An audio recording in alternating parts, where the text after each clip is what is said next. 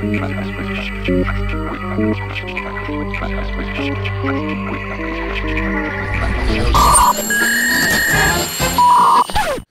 year is the year of the global warming, and the message I would like to share with you that if you are concerned about global warming, you have to wait until you will hear about something which is much more serious that people are concerned about but don't want to talk about. And I took upon myself to share with you some of the issues and fortunately also to offer some of the solutions. If you were uh, concerned by global warming, wait until you hear about local warming. This message is important health message Blogging may be hazardous to your health, especially if you male. This message is given as a public service. Blogging affects your posture. Here we see that when you are using computer and when you are using laptop, you are facing number of issues. And the natural posture, of uh, blogging is problematic. This is female natural posture without blogging. And this is female natural posture by blogging. This is a male natural posture, male usually sitting squatting for ventilation issues. and this is male natural posture while standing with no laptops. I gave this lecture, gentlemen, this is a serious issue. We started with DARPA, we continued with the home security, and now we are getting to the real issues.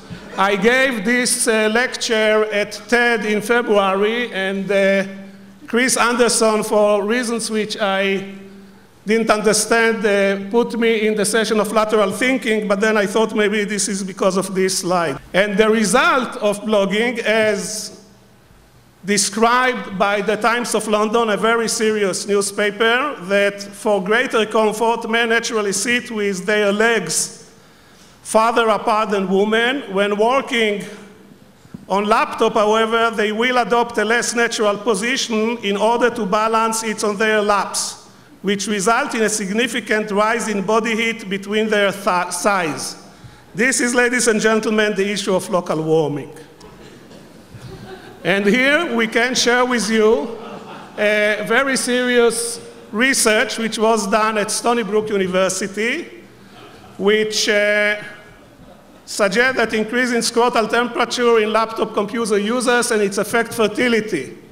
As you can see, my English is not very good, and uh, I didn't know what is scrotal. I understand that in in the singular is scrotum, in plural is scrota. And only last year I realized that I am too a proud scrotum owner. so this is the issue of local warming. And the problem with understanding the word scrotum is not only mine. You know this book won the Newbery Prize for the best kid book last year and it was banned because it mentioned that word and they, there was an issue, what is it? This is a slide which I'm using for the Israeli local uh, politics. You know, I belong to the, in Israel to the left, which is uh, getting smaller and smaller, but I shared it with my friends from the left and I show him that we still have future because as you can see, the left side, the temperature rise uh, lower than on the right side, so the left still have a future, according to this research of Mr. Sheynkin and company in Stony Brook. The total result is the future of Eugenes is in danger, and will geeks will become endangered species? That's a very good question.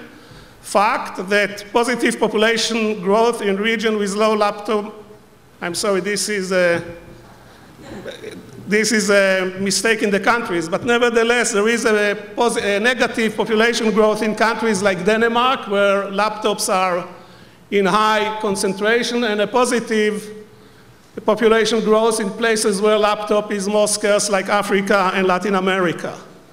This is a graph suggested by Mr. Rosling, show the relations between fertility, size of family, and the use of internet, and I think the conclusion is very obvious. The more you use the internet, the less kids you have, and the research which was done uh, just uh, a month ago uh, give an explanation, full 20% are spending less time on sex they are in Israel, uh, they are, when they are uh, on internet. I'm very proud to tell you that Israel is an exception. You can see that we stand aside. This is Hans Rosling, a very serious statistician. The company was bought by Google. We can both produce kits and surf the internet. Takes a little bit of acrobatics, but we can do it. Laptop may be able to use overpopulation. This is the global warming is just aggravating the situation. And time is of the essence. In less than 100 years, population will get to hold. This is, according to the United Nations, the graph for forecasting of population growth. And can you guess what effect this radical change in population growth? For sure, this is the introduction of laptops.